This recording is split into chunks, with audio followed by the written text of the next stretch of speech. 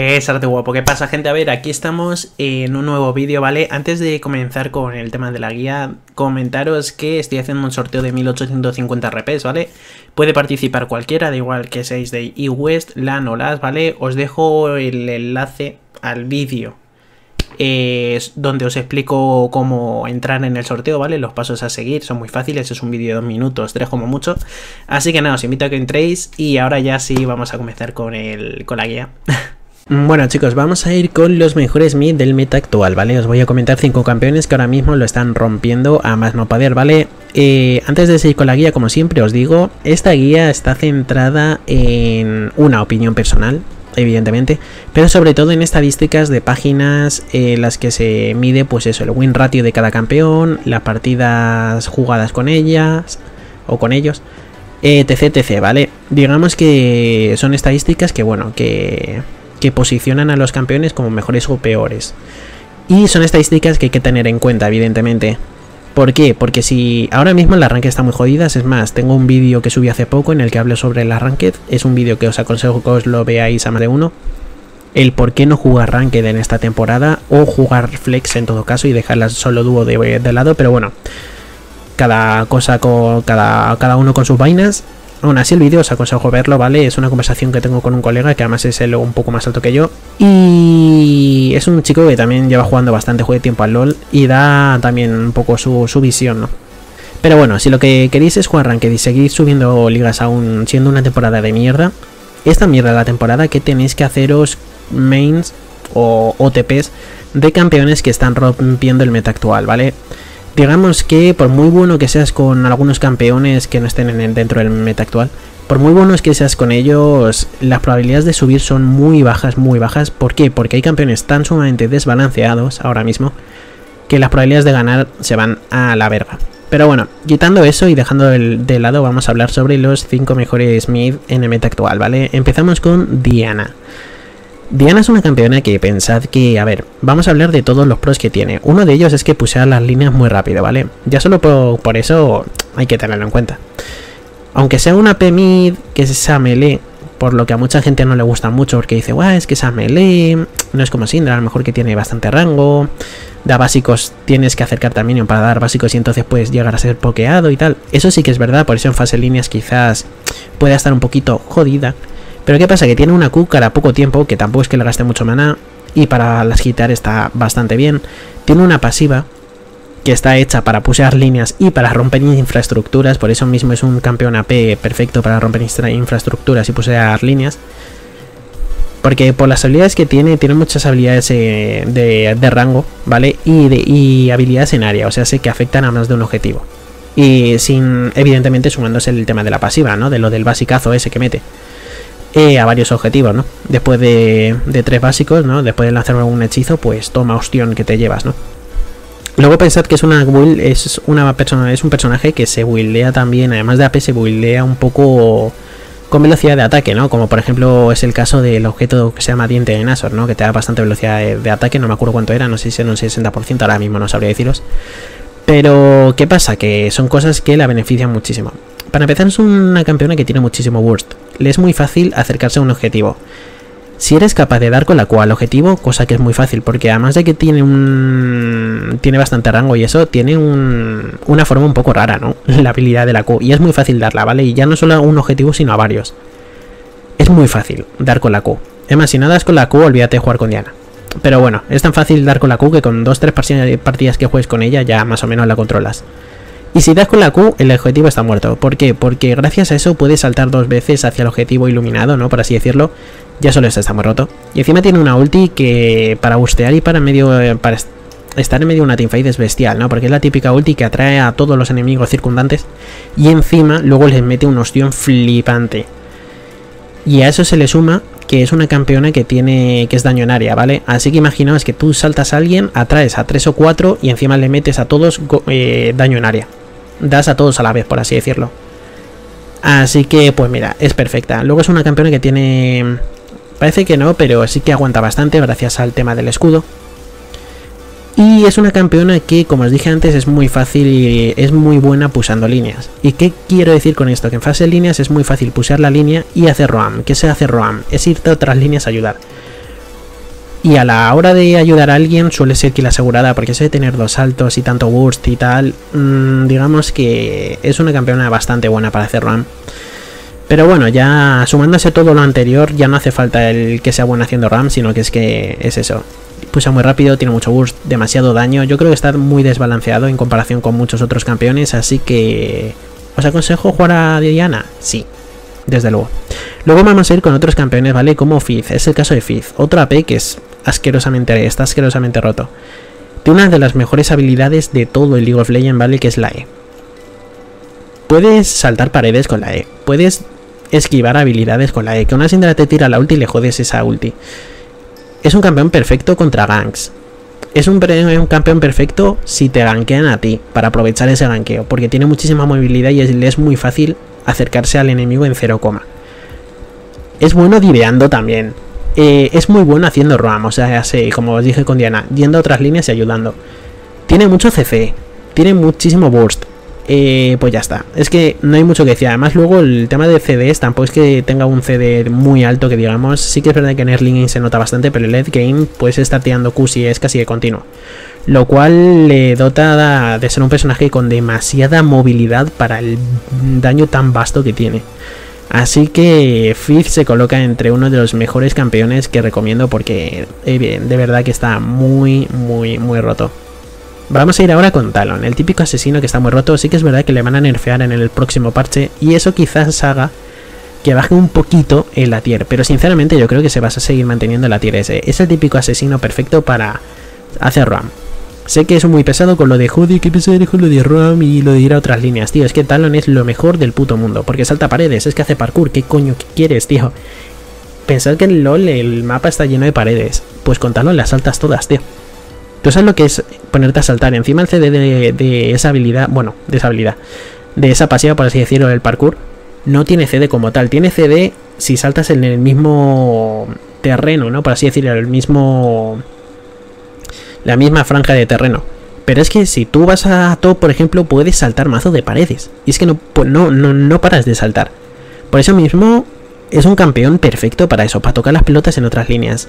Es el típico campeón que yo aconsejo a todo aquel que quiera carrilar partidas, ¿vale?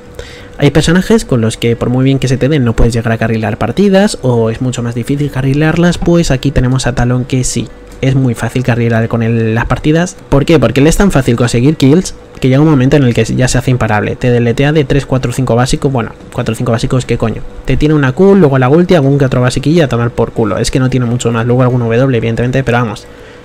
Pensad que es un campeón que tiene un salto, eso ya le ayuda mucho. Se hace invisible, perfecto para un asesino. Encima, después de esa invisibilidad, te hace bastante daño, perfecto. Encima hace daño en área, perfecto. Encima, para pusear líneas es bastante bueno, perfecto. Tiene de todo, tíos. Encima tiene sangrado también. Perfecto para todo asesino, ¿no? El tipo que se te para poca vida termina muriendo. Eh, es lo que os he dicho. Está muy, muy, muy roto. Y es un campeón al que le es súper fácil pillar a la DC en un momento. Aunque el support le esté defendiendo, da igual. Le es súper fácil ir a la DC y reventarle el orto. En 0, aunque tenga que gastar summoners, mata a uno. Mata a la DC. Y lo bueno es que hay muchos campeones que son buenos busteando. Pero una vez bustean a uno, terminan muriendo. Pero lo bueno de Talon es que está bueno escapando que es capaz de meterse a reventar a uno y escaparse otra vez para luego volverse a meter y reventar a otro y escaparse otra vez. Por eso mismo le tengo tanto asco a este campeón. Me pasa como con Cell, ¿vale? Son campeones que odio. Así que sí, os aconsejo a Talon. Pusa muy bien, tiene mucho burst, es, asesino a más no poder y está muy roto en, el meta actual. Y si lo que queréis es subir de Leo y ganar ranque, jugar con Talon. Ahora vamos a ir con Nani, ¿vale? Porque os nombro a Ani. Ani es un campeón, sobre todo en los bajos, es un campeón mid que siempre os aconsejo porque tiene muchísimo burst y es el campeón más fácil para farmear en mid, junto con Malzahar. Pero incluso Ani es mucho más fácil por el tema de la Q. El simple hecho de que tú le tires una Q a un minion, le metas un huevo de daño y si lo lagiteas recuperas el mana, ya solo eso es una de no tienes que dar básicos. Ya solo con Q puedes lagitear perfectamente. Que se te aman lagitear, da igual, pídate a Ani. Que ya lagitea ya por ti, por así decirlo, ¿no? Simples Q y a lagitear. Es un personaje que además ha sido bufado. Si lo pongo como uno de los mejores mid en el meta actual es porque le han bufado el tema de la E, ¿vale? Sobre todo el tema del escudo. Y ya no solo afecta ese escudo a la propia Annie, sino también a Tivers, que su ulti es el osito ese que tira. También, porque tú cuando activas la E, por ejemplo, se le pone a Annie y también se le pone al propio Tivers. Así que digamos que es como una doble bonificación, por así decirlo. el cambio que le han hecho es brutal. Es una campeona que vale, sí que es verdad que en los saltos desciende bastante porque es, muy, es tan fácil de utilizar que la gente ya se huele el qué es lo que puede llegar a hacer. No es, como no es un campeón muy complejo, es muy fácil de usar. Pues la gente más o menos, todo el mundo sabe jugar contra ella y con ella. Pero en el bajo es que pasa que la gente es tonta y pues eso. Si eres un poco avispado y aprovechas el tema de tu stun junto con la R y un flash, te puedes hacer tú solo la partida perfectamente. ¿no? En medio de una teamfight es de, es de los mejores mid que te puedes encontrar. Un buen flash ulti con el stun, stuneas a dos o tres y ya está, ya tienes la, eh, las kill casi aseguradas y una teamfight casi ganada. Siempre y cuando esté tu equipo un poco pues atento, ¿no? En el uno contra uno es bestial, tiene mucho burst. En el incluso es buena contra los gankeos porque tiene bastante movilidad. Sí que es verdad que no tiene, no juega, no tiene ningún tipo de edad ni de salto y tal, pero tiene la habilidad este del escudo que le da, eh, otorga velocidad de movimiento, lo cual le ayuda muchísimo. Por lo que sí, es un campeón que yo os aconsejo mm, muchísimo, sobre todo a gente de lo bajo. Si queréis subir de rango fácilmente, os aconsejaría haceros main Annie, que está muy rota. Y es lo que os dije, ¿vale? Deleta casi cualquier puto campeón. Vale, por otra parte tenemos a otro campeón que no iba a añadir, pero lo he terminado añadiendo, que es Twister Fate, ¿vale? Sí que es verdad que a lo mejor ahora me decís, Buah, hay otros mid mejores y tal. No os digo que no. Pero yo siempre he dicho que Twisted le pasa como a Rise o como a Victor, que es de los mejores mid que hay en el juego, pero la gente no sabe usarlo. Tampoco es que sea muy complejo usar Twisted Fate, pero sí que es verdad que a lo mejor pues tienes que saber cuándo tirar la ulti, ¿no? Porque la ulti es la teletransportación esa que tienes casi instantánea. Y eso puede llegar a hacer, es por eso mismo, sé que Talon es muy bueno haciendo Roam, Fizz es muy, muy bueno haciendo Roam, Diana también, Ani, bueno, dentro que cabe también porque tiene algo de movilidad y tal. Pero Twisted Fate es que ya no es que haga Roam, sino que se teletransporta a otra puta línea directamente. Sí que tiene mucho CD su ulti, pero bueno, le han disminuido el coste del mana, oye, cosa que no viene nada mal. Y ya no es solo eso, sino que el simple hecho de irte a otra línea y aparecer de la puta nada y darle hostias ayuda muchísimo. Pensad luego también que tiene varios tipos de carta, ¿vale? La W. Con una hace bastante más daño y se recupera mana, que es la carta azul. Con otra es la carta roja, que hace daño en área y ralentiza a los enemigos, cosa que viene muy bien si de una teamfight de estas contra varios, tira la roja y les ralentizas. Aunque yo os aconsejo siempre, si es contra campeones, tira la amarilla porque stunear a alguien da la vida. Además el stun dura bastante. Luego tiene la carta amarilla, que es la que os dije, que es la del stun, que es tú te pones la amarilla y stuneas a uno. Ese stun hace que, una, no falles tu Q, porque la Q a veces pues, se puede llegar a fallar, aunque es un poco complicado, se suele dar, pero bueno, a veces se falla. Si tú le tiras la carta amarilla, la Q la das sí o sí, y algún básico se come de gratis. Y gracias a su al tema de la pasiva de, de su E, por ejemplo, pues los básicos que se termina comiendo, que se puede llegar a comer, está bastante interesante, porque digamos que después de tres básicos, el cuarto que des, digamos que es como un básico potenciado, ¿vale? Así que eso, el simple hecho de tener ese básico potenciado ayuda bastante. Tú estuneas a alguien con la carta amarilla, le metes la Q, no la falla gracias a que está estuneado, y le metes uno o dos básicos. Uno de esos básicos es potenciado. Y además si vas con perdición de Lich, que es uno de los ítems con el que se suele ir. Digamos que puede llegar a tener bastante burst. Y lo bueno es que el CD de la W es muy bajo, por eso mismo en medio de una pelea puedes estar tirando cartas amarillas casi de continuo. Así que es verdad que, a ver, tienen que pasar unos cuantos segundos, evidentemente, porque si no sería demasiado. Pero llega un momento en el que a lo mejor te puede llegar a stunear dos veces en medio de una teamfight y te quedas en plan, venga, tío, macho. Además, no es un stun que dure 0,2 segundos. No, no, no, para nada. Es que dura bastante, se, dura unos segundillos que inmovilizar a un enemigo da la vida, y más si vas con aliados. Por eso mismo es de los mejores haciendo RAM. Luego para pusear líneas es muy bueno y también no dejemos de lado el tema de la pasiva. Con la pasiva consigue oro de gratis. Digamos que cuando mata a un enemigo, tiene una bonificación de oro, ¿vale? Puede ganar 6 de oro, un poco más, un poco menos, ¿vale? Lo cual está bastante bien. Digamos que es una bonificación de oro. Es un poco, pues, si tienes suerte ganas bastante oro pero digamos que ya solo con la pasiva vas a ganar más oro a la hora de la hitear. Ganar más oro significa comprar más ítem. Por lo que si no mueres, si apenas mueres en la partida y farmeas bien, tienes las de ganar ya de por sí. Ya solo por la pasiva tienes las de ganar. Tienes un poco más de... Mm, digamos que de bonificación. Tienes un plus mm, de, de ganancia, ¿no? En respecto al farmeo del otro objetivo, siempre y cuando farmeas bien. Si farmeas bien y no fallas minion, créeme que aunque tengáis los mismos minions, tú le vas a sacar oro al enemigo. Por eso mismo está tan roto. Y luego el tema de la ulti, es muy fácil, se va a otra línea, en un momento, ganquea, mata a uno, se vuelve a base y luego alinea otra vez y sigue farmeando a ganar oro.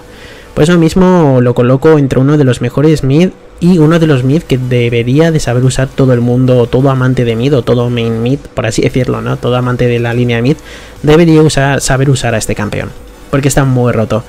¿Qué pasa? Que la gente lo subestima mucho y la gente no lo juega mucho. Digamos que como no se juega mucho, pues la gente dice es una mierda de campeón. No significa que el que apenas se juega o que se juegue poco respecto a otros campeones sea peor o mejor como campeón. Es un campeón que está roto, así que chicos, hacedme caso, que es bestial, es bestial.